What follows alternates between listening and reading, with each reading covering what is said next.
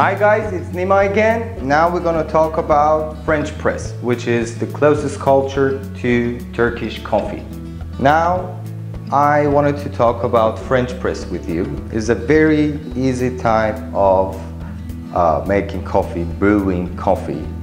And um, the, basically the differences between all this type of different brewing from Turkish coffee to French press, Chemex, is that uh, the amount of water, the heat, the coffee, the speed of making it changes and it also has some, uh, how can I say, very tiny effect on the taste.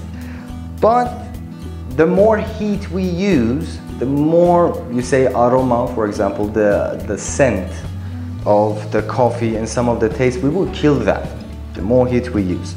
So uh, the best ones to keep the taste and the scent and everything you need, all the, you know, the notes of the coffee, is to first use French press. It gives you the maximum taste. Then is V60 and Chemex. And filter machine is also okay, but filter machine, uh, the water is like super boiling temperature, you know, that, that's also too much heat. And that's why like for Turkish coffee, since we have, you know, direct heat over it, uh, we use blonde roasted coffee because we're killing a lot of that caffeine and the scent, aroma, taste, notes, and whatever that's going on in that coffee. All right, so I don't want to waste your time much over this. It's very easy.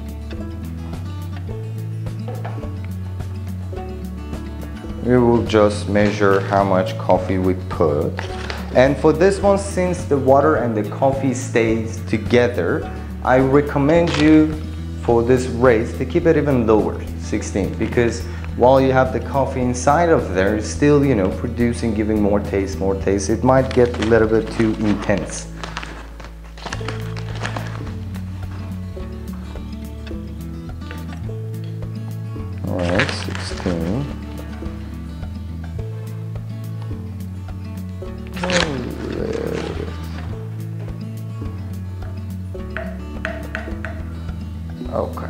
I put 35 gram, grams of coffee in here.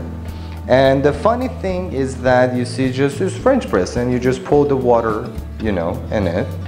But please don't do that. Again, we need to brew it. So let me just see how much I need. Again, I have to calculate it. All right, we're gonna need around 550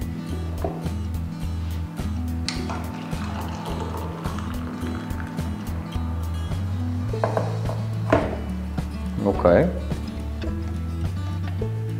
And I will do the same thing again because if we don't do the blooming part you're not gonna have that uh, cream coming over the top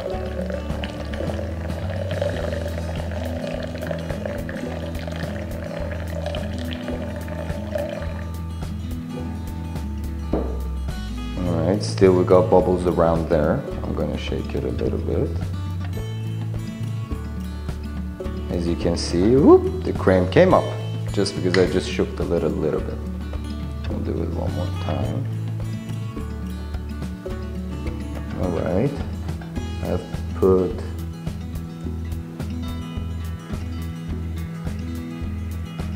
Hundred and twenty-two grams of water. All right, now I will add the rest.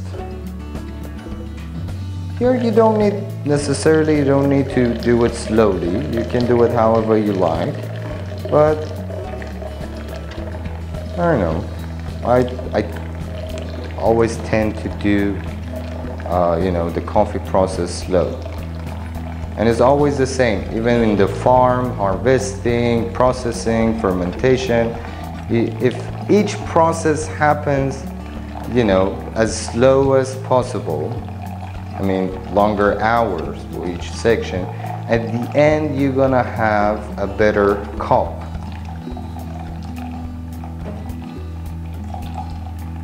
So as you can see, there's really good cream on top of that, which is actually hard to see when you order French press, I mean French coffee outside, most of the time you don't see any crema on top of it. And that's also because they just, you know, pour the water over the coffee.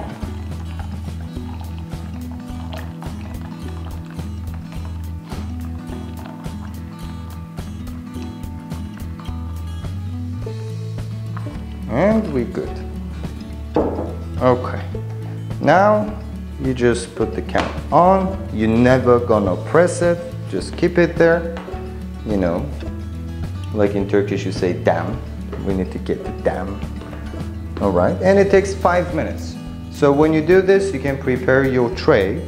And uh, with French press, I mean with all of it, yes, but I don't know why with French press, please be careful. You need to use sugar, candy, sweets, something a little bit because it might make you feel a little bit weird, uncomfortable after that as your blood pressure drops.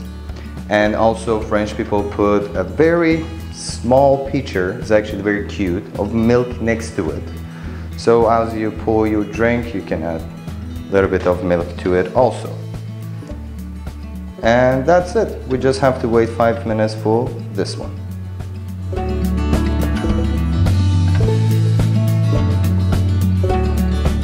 Alright guys, now the five minutes is over and as you can see the coffee is actually looks, you know, more, I mean one color, you cannot see what is going on inside. And when it finishes, just slowly, you know, literally everything must be done slowly. You just press it down, it filters it, and then you just pour the coffee.